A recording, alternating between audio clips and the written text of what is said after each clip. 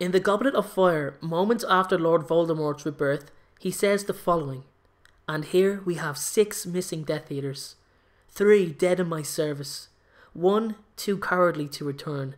He will pay. One who I believe has left me forever. He will be killed, of course. And one who remains my most faithful servant and who has already re entered my service.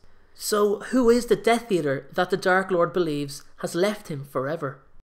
Happiness to be found, even in the darkest of times. One only remembers to turn on the light. Well, firstly, let's look at all three of the possible Death Eaters Voldemort is talking about. So we have one too cowardly to return. For me, that's obviously Igor Karkaroff. His growing anxiety throughout the book gives it away easily.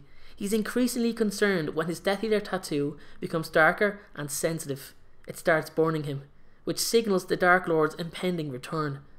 Then we have the one who remains his most faithful servant, and this again is quite obviously Barty Crouch Jr., unknown to Voldemort at that very moment that his faithful servant would receive the Dementor's kiss, something he could have most likely stopped happening if he wished. But the one who has left Voldemort forever, who can that possibly be? Severus Snape comes to mind straight away, and although he is the obvious choice, it doesn't appear as simple as it seems. So, what do I mean by this? Let me explain. The Dark Lord is a very intelligent and clever person. He would have immediately questioned Snape's loyalty the moment he asked for Lily's life to be spared, because it indicates just how much Snape cared for her that he'd request something that may have affected future endeavours if she actually had have survived.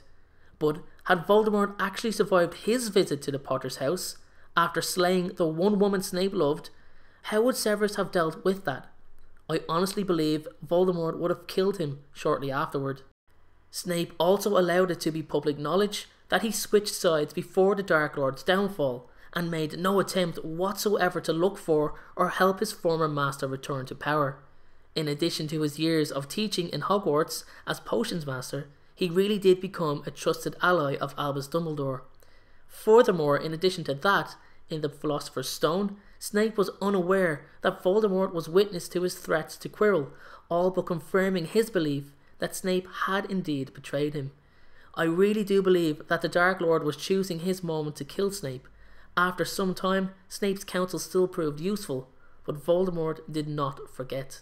So, the line of, he will be killed, of course, was always the Dark Lord's intention but it was Snape's assassination of Albus Dumbledore that secured his former master's trust.